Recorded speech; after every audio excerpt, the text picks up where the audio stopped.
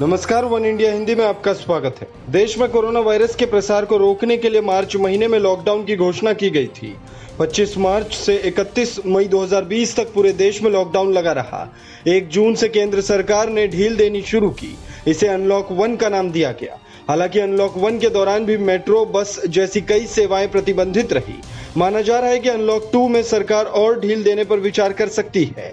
सूत्रों के मुताबिक 30 जून के आसपास केंद्र सरकार की तरफ़ से अनलॉक टू को लेकर गाइडलाइंस जारी की जा सकती है।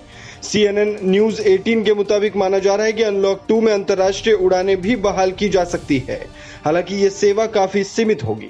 उदाहरण के तौर पर दिल्ली से न्यूयॉर्क और मुंबई से न्यूयॉर्क के बीच उड़ान सेवा शुरू की जा सकती है। इसके अलावा गल्फ देशों से प्राइवेट कैरियर के उड़ान को भी मंजूरी दी जा सकती है।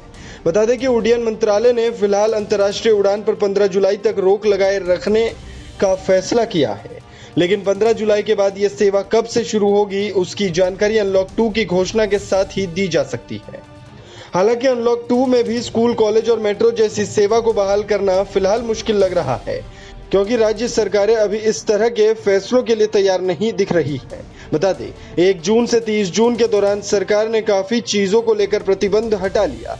मसलन, विमान सेवा धर्म स्थलों होटलों रेस्टोरेंट शॉपिंग मॉल को खोलने की अनुमति दी गई। हालाँकि ये सभी आदेश कंटेनमेंट जोन के बाहर, यानी कि सामान्य इलाकों के लिए जारी किए गए थे। इसमें भी केंद्र सरकार की गाइडलाइंस थी कि रात 9 बजे से लेकर सुबह 5 बजे तक सभी तरह की गतिविधियों पर पूरी तरह रोक रहेगी। इस खबर में फ़िलहाल इतना है।